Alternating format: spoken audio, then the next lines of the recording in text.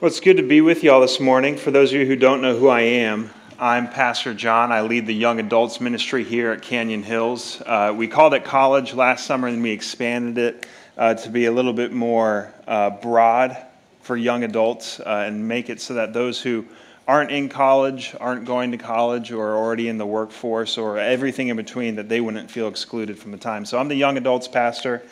Been here for about a year with my lovely wife Claire. We gave, uh, I didn't give birth, no, that was her.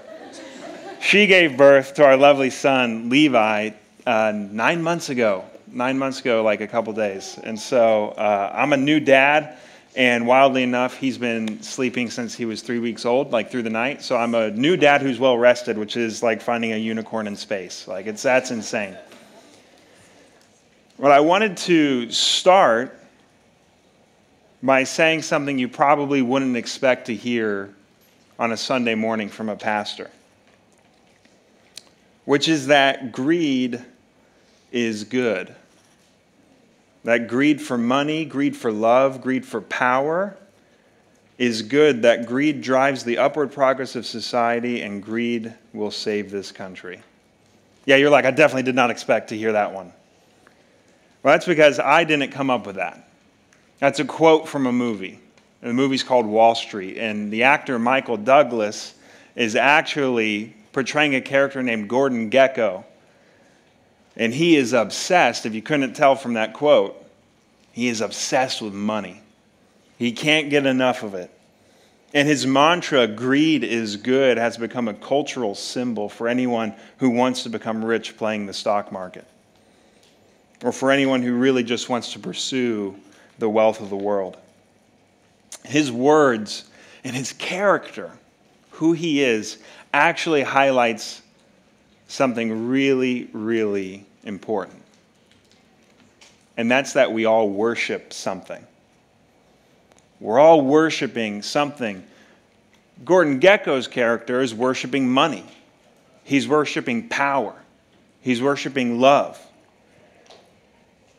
His heart set his actions, the things that he does, are intentionally designed to glorify himself, glorify his finances, glorify his power. Now, that's probably not the way that you expected me to start talking about a message on worship. But it's because we need to understand what worship is. Worship is any intentional activity done to bring glory to something or to someone. That's what worship is. That you exalt this thing or you exalt this person. And now that I've given you a, a clear example of it, now that you've gotten to see it illustrated, now that you know the definition, I want to ask you the question what did you walk in through those doors worshiping this morning? Because you might have thought coming into this that worship is just something you do for a few minutes at the beginning of a service. That you just sing it out a little bit, raise your hand maybe. That's not what worship is. That's what praise is. And praise is a part of worship. We'll get to that. But worship is what you intentionally do to glorify something. Some of you walked in here worshiping your relationship with your boyfriend or your girlfriend. That that is what you think about, that that is what matters to you, is that that is what you want to bring glory to. All that's what you want all your friends to know about. That's what you talk about constantly. That's what you're known for. Some of you are worshiping your grades. You're worshiping getting to college. You're worshiping making money. You're worshiping family. You're worshiping anything right now. The question is are you worshiping God? Because the way that you praise Him in what we call corporate worship, the way that you praise Him will reveal what you're worshiping. Worship is not just singing. Singing is a beautiful form of worship. And through this message, what I want to do is, is break down why it is important for us to properly worship God and how singing praises to Him is one of the most powerful ways for us to set our hearts and our actions deliberately to glorify Him. That is not just something we do to check the box, but it is something we do to check our hearts. It is something we do to focus on Him and put ourselves into a proper position of worship before Him. So, why do we sing if worship is anything that you do? Because it's, it's, the way you live your life. Worship is the way you live your life. Do you live a life of worship? So, what's the point of singing then? Singing is important to worship because it intentionally glorifies God through expressing our praise, our joy, and our sorrow. Three fundamental experiences of the human condition. And singing really kind of transcendently connects to those things. If you read poetry, if you sing music, if you look at a painting, there, there is art that connects deeply with the human soul and the human spirit. We are designed that way because our God is a God of creation.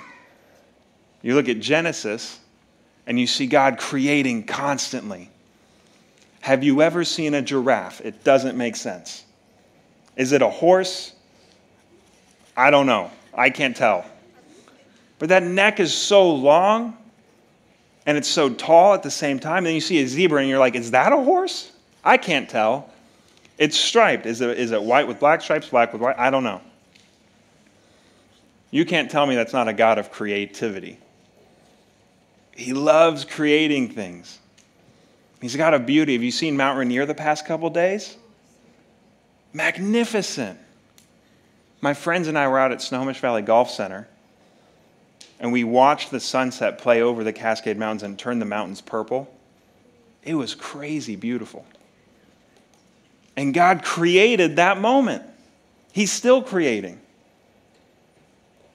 And we're made in His image. So there is a natural desire for us to express our creativity. And one of the most beautiful forms that we do that through is through singing, it's through music. And so it is natural that you would find in the Word of God language that talks about praising Him, rejoicing in Him, expressing our sorrow through Him, all with song.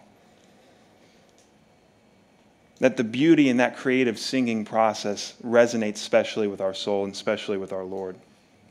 So hear this. Here's how it connects to praise. Psalm 147 1. How good it is to sing praises to our God. How pleasant and how fitting to praise Him.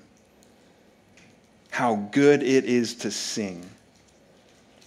This psalm shows us so clearly that singing is a special form of connection to God. That again, it is not just something we do to do, it is something we do to connect to the heart of God.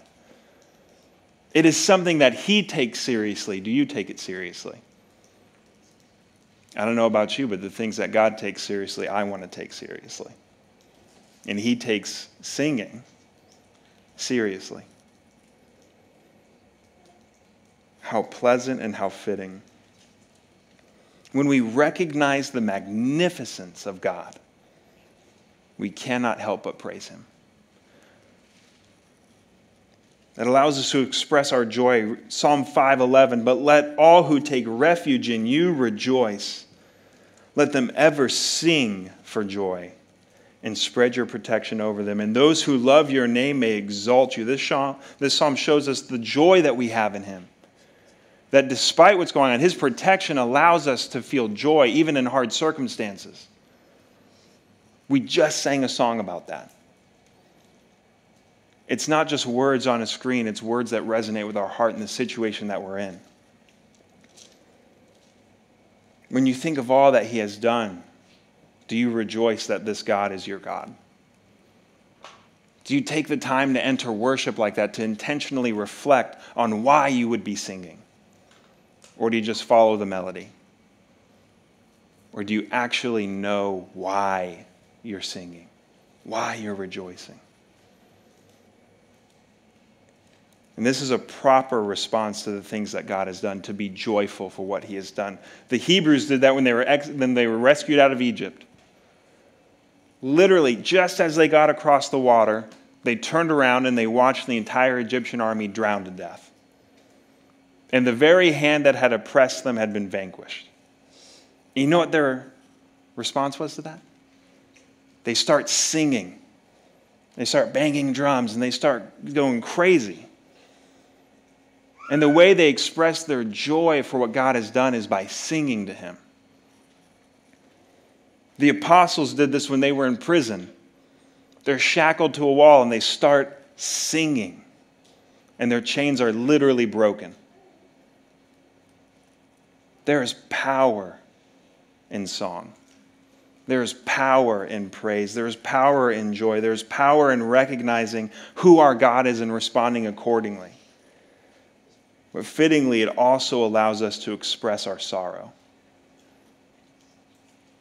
Because God knows what it's like to be us. That's why He sent His Son. His Son walked among us, wept with us. Romans 12, 15, rejoice with those who rejoice and weep with those who weep. Those words from Romans show us that singing and being together is a natural form of comfort and a natural form of outpouring our hearts. And those three things, where the Lord meets us with our praise, with our joy, and our sorrow, highlight a misconception that we tend to have about worshiping in church. The misconception is that church worship is about what I like and what I can do. About whether you like the way that it sounds or not. Whether you're a part of making the sounds happen. That that's all it is, that it's, it's about what you can get out of it. It's about whether you like the song, whether you like the lyrics, whether you like the melody. You're hearing a lot of you in that. Or about what you can produce, how well you can sing some of you don't sing when there's worship going on because you're like, I don't want to distract those around me from how bad my voice is. That's the excuse that I used for myself for years. When in reality, I was still worshiping myself because I was saying, I'm not going to give God praise because I don't like it. It's not about me. It doesn't matter how I sound, it's a matter who I'm praising. Don't, don't negate and steal glory from God by not singing. Just because you're self conscious about the way that you look, or the way that you sound, or the way that you'll appear to other people. It's not about you, it's about God. It's about worshiping and praising Him and recognizing all that He has done for you already and all that He will continue to do because He can't stop being faithful. It's not about what you produce. It's about what you lay down. Worship is about drawing nearer to God and nearer to one another. Those three verses that I read highlight that. The first two, our praise and our joy, clearly connected to how we experience God, to how we talk to Him, to how He knows our hearts. And then the last one, when it says, do this together, shows us that worship and the expression of emotion happens best corporately, not individually. Worship and praising allows us to draw nearer to God and nearer to one another. Here's how it draws us nearer to God. I was talking to Chelsea Mason about this. She's our, one of our worship directors. You guys have seen her on Sunday she said this. I was, I was asking about that. I'm not, a, I'm not, I'm not the, on the worship team. I'm a, I'm a young adults pastor.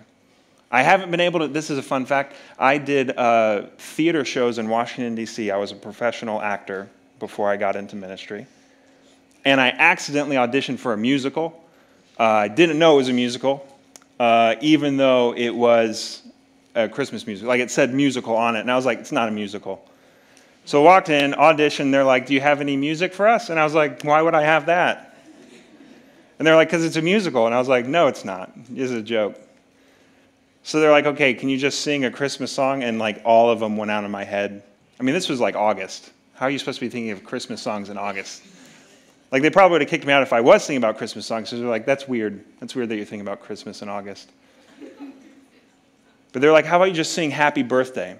And I was like, Can do. So I started singing Happy Birthday, and they're like, that was awful. That was terrible.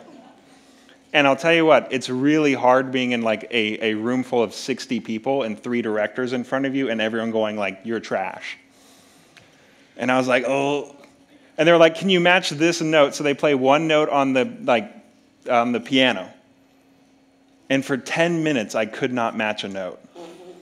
For, for real. They ended up, I did not get the part. but they ended up firing the guy who did get the part, and they called me back in, and I ended up getting the job. Um, and that's when I, and I was like, man, y'all are out of luck. This is bad. They spent They spent two months. I had to work an extra hour and a half after rehearsals with a music director, and it took me two months to match my first note. Two months. My music, the music director started weeping when it happened. She was like, This is all wasted effort. so they had me lip sing and someone else sang off stage for me, and they just cut my mic. It was great. I highlight that to tell you how poorly I sing. Like, I can't sing. I don't know much about singing, so I had to ask Chelsea, what is all this stuff about singing? What is, what is the purpose of worship? She said this We are innately designed for worship. On this side of eternity, we wrestle with the brokenness of worshiping the wrong thing. But ultimately, God's desire is for us to rightly worship Him. The reality is, one day, all of creation will recognize who is actually worthy of worship. The question for us as believers is will we take the Lord up on the opportunity to get a head start and give him the praise he is worthy of now? Or, we will, or will we make excuses until eternity? I realized that I was making excuses because I felt like I couldn't sing. I knew I couldn't sing. That did not mean I couldn't worship and I started worshiping. And Chelsea's words are so true because it allows us to experience a taste of eternity today. That for the rest of eternity, we are going to, in full unity, connection, and restoration with God, as we were made to be, reconciled to Him as His children, able to worship and praise Him freely. And I realized I, for years I'd been missing out on the opportunity to experience that a literal taste of heaven on earth.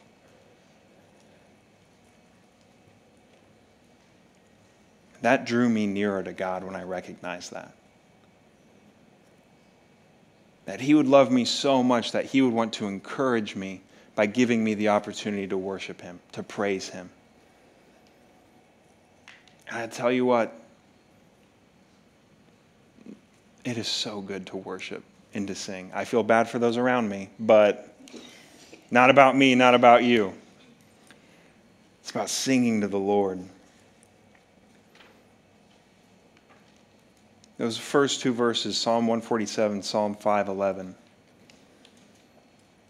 they allow us to draw near with confidence to God and sing to Him and praise Him and worship Him. Not just in the good times, but when it's difficult as well. Like the apostles, they were in prison, not a good time. But their response was to draw near to God through worship. And look what he did in that. How many of you are chained to something right now? Some addiction, some relationship, you're worshiping a false idol? Have you thought about singing? Because it broke the chains of the apostles. And if he can do that with just a piece of metal, what do you think he can do with the thing the enemy's trying to chain you with? He can break that too. There is power in worship when we draw near to God from a proper heart. Scripture says in Hebrews, draw near with confidence, sing with confidence. It's not about how you sound, it's about who you're worshiping. It is not about how you feel about it, it is about how He feels about you. So praise Him, worship Him, draw near with confidence. And on that same note, when I said that we get a taste of eternity today, do you think that you'll be in eternity alone? No. Revelation says people from every tribe, tongue, and nation will be together. Everyone together. That is corporate worship. Look around this room right now. Are you alone? No, you are not you have the opportunity to draw near to God together, which is again a taste of eternity today. Worship draws us nearer to one another. I love in Revelation 19, it says we will sing triumphantly together.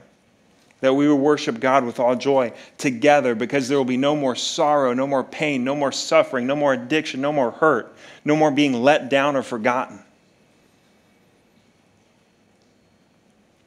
And we'll get to sing knowing that it has all been made right and that our God was faithful and that He restored all things. And we won't be singing those songs alone because looking to our left and to our right in eternity, we'll be able to see witnesses to God's grace all around us.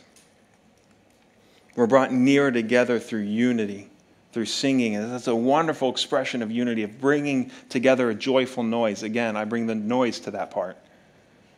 But coming together and making the joyful noise to the Lord as one voice. Have you ever thought about that? That when you sing, that you are one voice, there's one sound. Unity brought through many. That is a picture of eternity, of what Christ has done is doing and will see completed.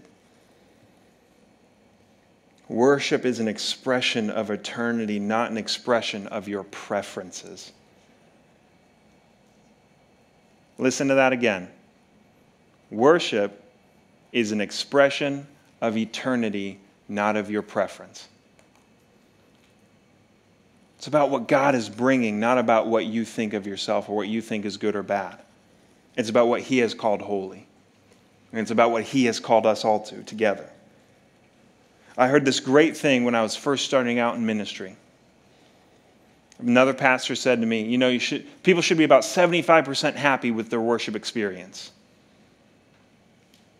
He said, and 25% of they should probably be like, ah, I don't really care for that. And he goes, That's good, that's fine. Because what's part of your 25% that you don't like is a part of someone else's in the room, 75% that they do like. And in that, you find unity together. When you might be in a specific moment where you're not quite feeling the song, you're not quite feeling the worship, look around you and find someone who is and worship with them. Because it's not about you, it's about you two together, it's about this room together. And they'll do the same thing because there's probably something that they don't like, and they'll look over and see you worshiping and praising in full band, and that will encourage them to worship. One of my favorite things is seeing David Newman play the piano. We do staff chapel, and he was leading, he was playing the piano, and I watched him as he was worshiping.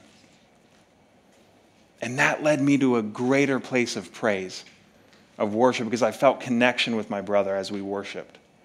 Even though I was just like a face in the crowd. Just seeing his joy in worship brought me a deeper joy in worship. So look around when you worship. It's not about you. See the faces around you and worship with them. Worship together. Give glory to God together. I want to I want to ask you this question. Two questions. Who do you worship? And why do you not sing? Who do you worship? And why do you not sing? Do you worship yourself? If you worship yourself, you definitely won't sing because you'll be thinking that it's all about you. You worship something else? Do you sing about it in some other way by spending all your time and effort, money, resources, conversations about it? Or do you worship God? Who do you worship and why do you not sing? The next time, and we're going to have an opportunity to respond here in a second, because it would be silly to have a message about worship and then not give you the opportunity to apply what you just learned. When you stand in a second to sing, and if you're not singing, ask yourself a question why? Why am I not singing? If it has anything to do with your thoughts about yourself, start singing. Because it's not about you. Or maybe you're not singing because you're, I, I don't know if I actually believe in who this God is, who we're singing about. If you find yourself in that place, talk to one of the leaders because we would love for you to start singing to know the power of this God who saves and is still saving. So when we stand to worship in a moment, think of who you actually worship and then respond accordingly. Let me pray for us. Father, thank you for this time. Thank you that we are in a place where we can freely worship without fear.